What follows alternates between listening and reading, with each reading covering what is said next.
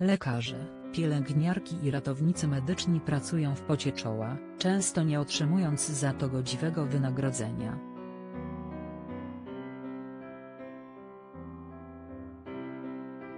Tymczasem w Ministerstwie Zdrowia, wśród dyrektorów, ogromne nagrody sypią się nieustannie.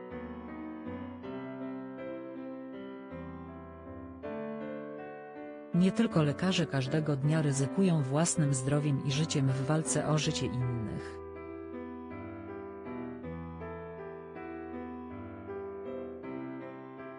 To jednak oni, a także pielęgniarki, od momentu wybuchu epidemii, nierzadko nawet nie mają możliwości opuścić oddziału.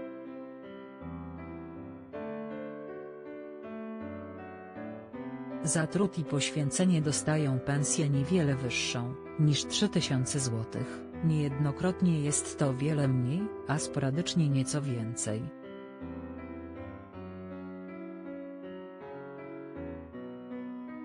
Tymczasem w rozmowie z Super Expressem poseł KO, Dariusz Joński, jawnie powiedział o ogromnych nagrodach, jakie regularnie trafiają do dyrektorów Ministerstwa Zdrowia.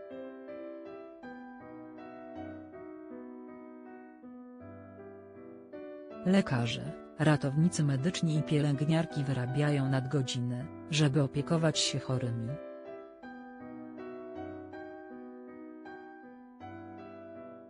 W tym czasie dyrektorzy otrzymali nagrody nawet po 30 tysięcy złotych.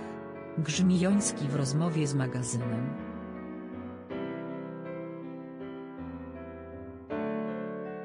Poseł Ko przyznał również, że od kilku miesięcy, razem z posłem Michałem Szczerbą, bacznie monitoruje resort zdrowia.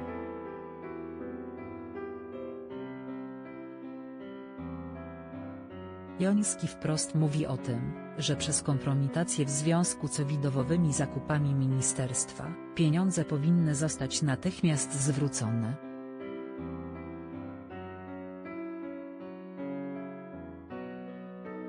Dwa, trzy. Przypomnę, że do dziś w kasie ministerstwa brakuje 70 milionów złotych za niedostarczone respiratory od handlarza bronią. Zamiast nagród dla dyrektorów w Ministerstwie Zdrowia muszą się natychmiast znaleźć w budżecie pieniądze na nagrody dla personelu medycznego. Natychmiast. Dodał w rozmowie z Super Expressem Dariusz Joński.